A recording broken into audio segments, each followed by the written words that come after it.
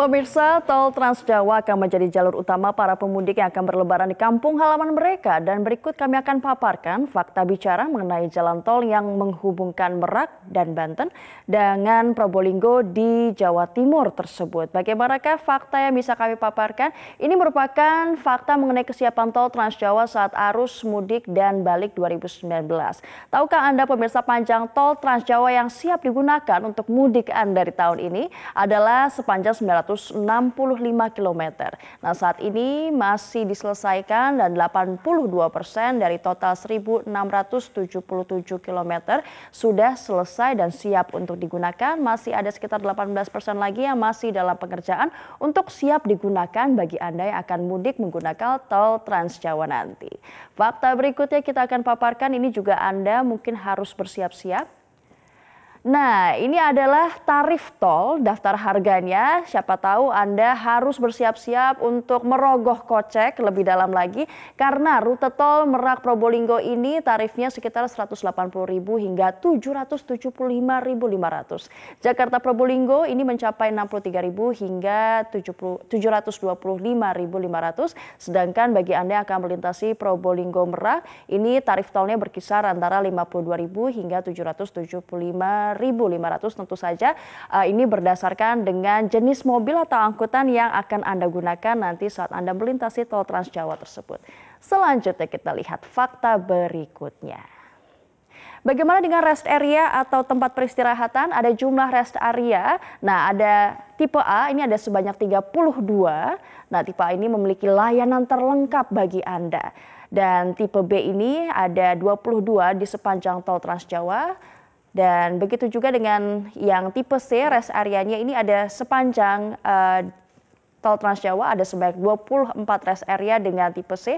Nah ini hanya beroperasi saat arus mudik atau libur panjang saja. Jadi Anda harus mengetahui sebelum Anda akan mudik di mana saja rest areanya dan apa saja uh, fasilitas yang dapat Anda gunakan di rest area tersebut. Selanjutnya.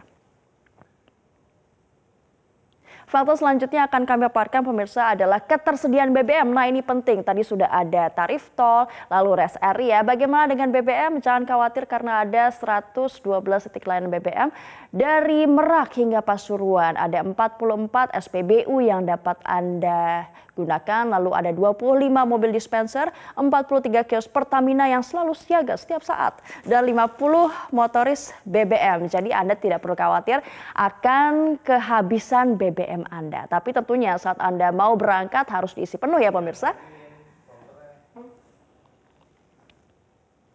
Dan ini adalah fakta yang terakhir pemirsa diberlakukan sistem satu arah. Ini juga harus diingat karena ada beberapa hari dan juga beberapa jam yang akan diberlakukan sistem satu arah di tol Trans Jawa ini. Nah salah satunya mulai pukul 6 waktu Indonesia bagian Barat ini selama 24 jam pada 30 Mei hingga 2 Juni. Dicatat pemirsa 30 Mei hingga 2 Juni 2019 ini akan diberlakukan sistem satu arah dari Cikarang Utama di kilometer 29 hingga Brebes Barat di kilometer 262. Sama halnya akan diberlakukan sistem satu arah juga pemirsa mulai pukul 6 waktu Indonesia bagian Barat selama 24 jam juga pada uh, setelah lebaran tiba yakni 8 hingga 10 Juni 2019.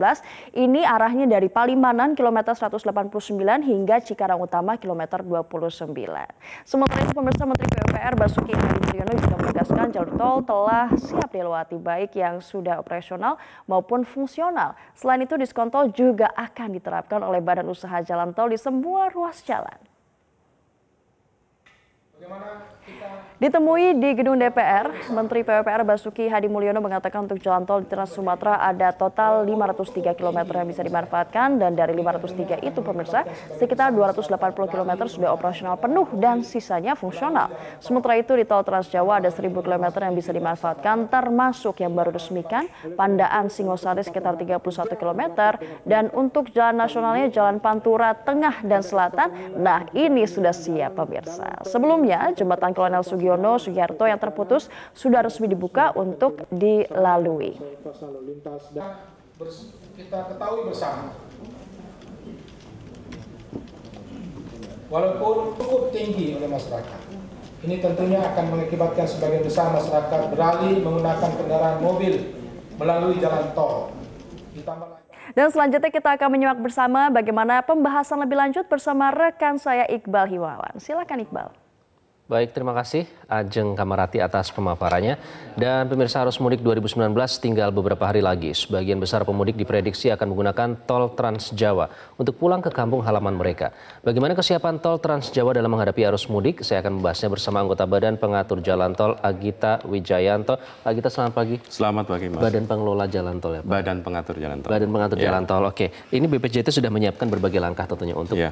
menyambut arus mudik yang akan berlangsung sebentar lagi. Sejauh mana Pak kesiapan dari BPJT sendiri?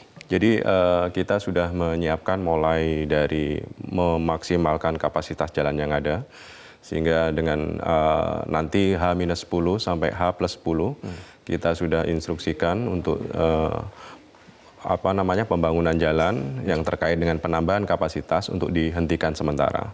Jadi kita uh, perbaiki kanalisasinya, kita kembalikan lagi ke jalur yang semula sehingga bisa maksimal untuk uh, melayani pemudik karena pemudik kita ini untuk Lebaran kali ini ini meningkat sekitar 15 persen dari tahun lalu. Dari Jumlahnya cukup signifikan ya, begitu ya. Nah, dari data mana transaksi. saja akan menjadi fokus uh, nanti perbaikan, Pak? Uh, kita sudah menambah uh, kapasitas jalan lajur hmm. di Tangerang Merak di kilometer 39 sampai 52, kemudian di Jakarta Elevated namun ini juga tidak bisa mengejar sepertinya hmm. karena uh, di masalah konstruksi rantai pasok penyediaan girdernya masih terlambat okay. sehingga kita hanya memaksimalkan existing jalan tol Jakarta Cikampek yang ada. Okay. Nah ini yang akan kita lakukan. Kemudian untuk uh, memastikan bahwa di Cikarang Utama tidak ada antrian, karena kita tahu uh, dari 1,38 juta tadi hmm. itu kira-kira sekitar 68 persennya itu ke arah uh, timur okay. dan juga ke Bandung sehingga uh, yang ke arah apa namanya uh, timur Jawa Tengah Jawa Timur itu sekitar 55 persen kemudian 45 persennya ke arah Bandung. Nah, ini kalau digunakan hanya Cikarang Utama nggak mampu. Okay. Ini kita pindahkan nanti per tanggal 23 jam 00 hmm. transaksinya akan berpindah di Cikampek Utama. Kemudian yang satu lagi di Kalihurip. Jadi jelas salah satu rekayasa yang akan dilakukan adalah pemindahan gerbang tol begitu ya, ya untuk memperlancar arus, ya, terutama ya. nanti mengatasi mengantisipasi kepadatan yang mungkin Badan akan terjadi begitu. Ya. Nah, kemudian terkait dengan tadi sudah dipaparkan oleh rekan Ajeng dengan ketersediaan rest area dan lain-lain fasilitas penunjang seperti apa Pak kesiapan? Ya, tadi sudah disampaikan oleh Mbak Ajeng bahwa kita ada tiga tipe ya, tipe hmm. A, tipe B, tipe C. Nah, namun demikian untuk melayani pemudik uh, tipe B dan tipe C itu juga ada SPBU juga uh, kita uh, apa namanya uh, seperti disampaikan tadi ada mobile dispenser, ada kios, ada motor eh, apa BBM itu yang yang kita sudah bekerja sama dengan Pertamina dan Pertamina akan mensupport itu.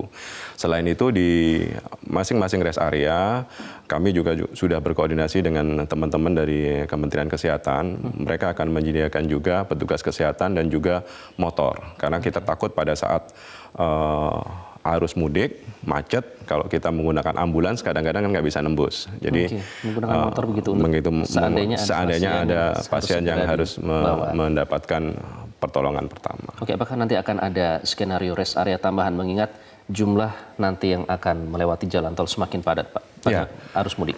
Jadi untuk arus mudik kali ini itu uh, agak berbeda dengan tahun lalu ya. Hmm. Jadi tahun lalu kita hanya sampai dengan kontraflow. Okay. Tahun ini kita mencoba melakukan one way. Hmm. Nah, sehingga dengan one way ini rest area yang ada di dua sisi ini bisa digunakan secara optimal. Hmm. Jadi jarak rest area dari Merak ke Probolinggo itu per 20 km. Hmm. Kemudian arus sebaliknya dari Probolinggo sampai ke Merak itu per 23 km. Hmm. Sehingga kami berharap dengan uh, kebijakan one way ini yang dulunya masyarakat pemudik hanya dilayani oleh rest area di satu sisi, sekarang bisa dilayani oleh dua sisi. Kami berharap dengan kondisi seperti itu, maka kita bisa melayani lebih baik. One way ini apakah sudah ada uji cobanya atau simulasinya begitu dan seberapa efektif, Pak?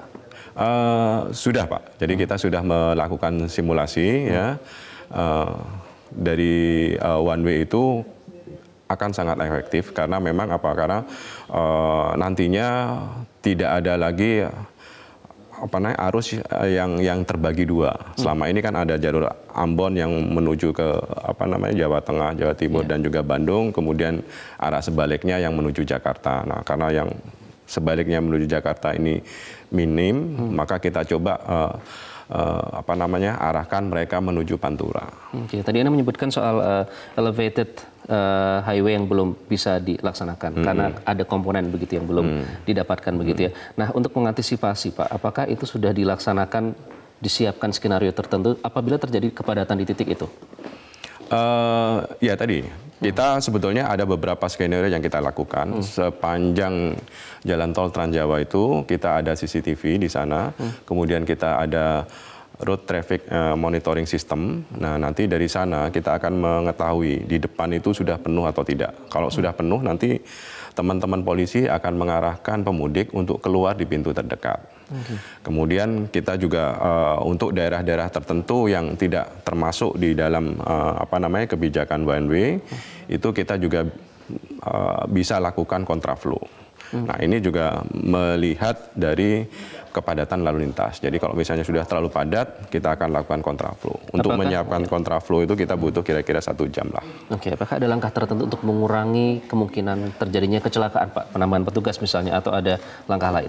Ya, kalau misalnya kecelakaan mungkin uh, kita tidak berharap ya. Okay. Tetapi dengan kepadat, kepadatan yang yang sangat padat ini 1,3 1,38 juta ini saya kira kecepatannya kan nggak mungkin kencang. Okay. Jadi kami berharap uh, apa namanya kecelakaan itu bisa berkurang. Namun demikian uh, kita juga menyiapkan ambulan, rescue team dan juga kita seperti tadi saya katakan sudah berkoordinasi dengan teman-teman okay. uh, eh, Kementerian Kesehatan untuk uh, apa namanya pertolongan pertama apabila hal-hal tersebut. Oke, okay, baik, Pak Gita terima kasih. Artinya BPJT sudah melakukan segala langkah untuk memastikan bahwa nanti tidak terjadi kepadatan yang berarti begitu ya selama arus mudik. Minta doanya. Amin. Terima kasih Pak Gita, semangat yeah. terus untuk teman-teman juga. Dan pemirsa itulah tadi perbincangan terkait dengan kesiapan jalan tol Trans Jawa jelang arus mudik. Kami akan kembali sesaat lagi. Tetaplah bersama kami.